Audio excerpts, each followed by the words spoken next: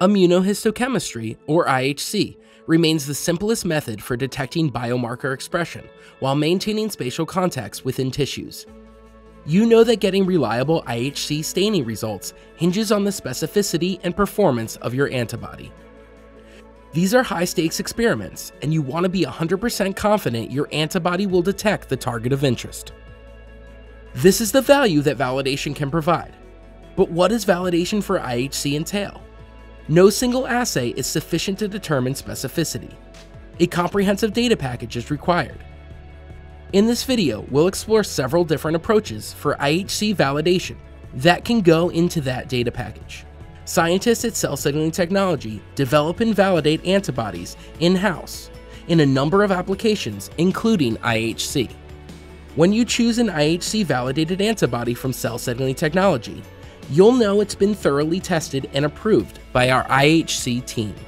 In addition, you can view relevant validation data on cellsignal.com, along with the recommended protocol and companion reagents we use to validate that particular antibody, so that you can use it with confidence in your experiments. Let's get into some of the different approaches we use at Cell Signaling Technology to validate our antibodies for IHC. First, cell pellets. Paraffin embedded cell pellets can be used to assess antibody specificity by comparing cell lines known to have different expression levels of the target protein.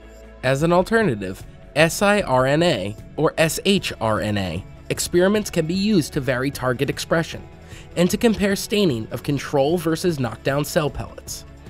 Treatment with small molecule activators or inhibitors can also be used to modulate target expression during validation of both total and phosphospecific antibodies. Treatment with ligands can also be used with cell pellets to modulate the target protein by inducing or inhibiting expression, or as shown here, change its localization.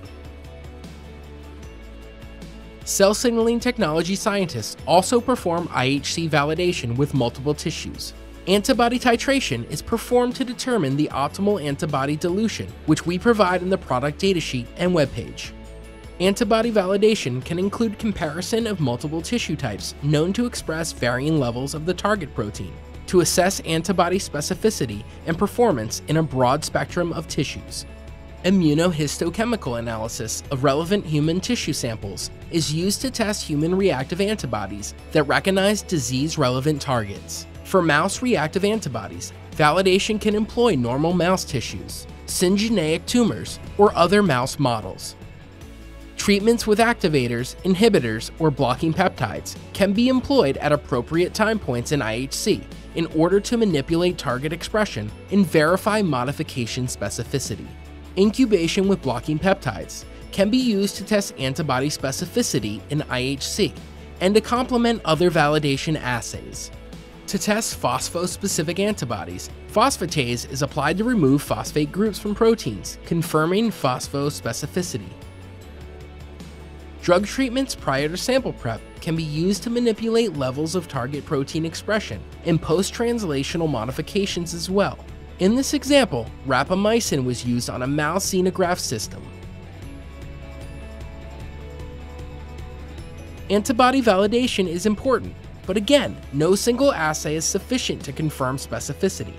It's the combination of multiple validation assays into an IHC data package that ensures that the staining you observe with each cell signaling technology antibody is specific and believable.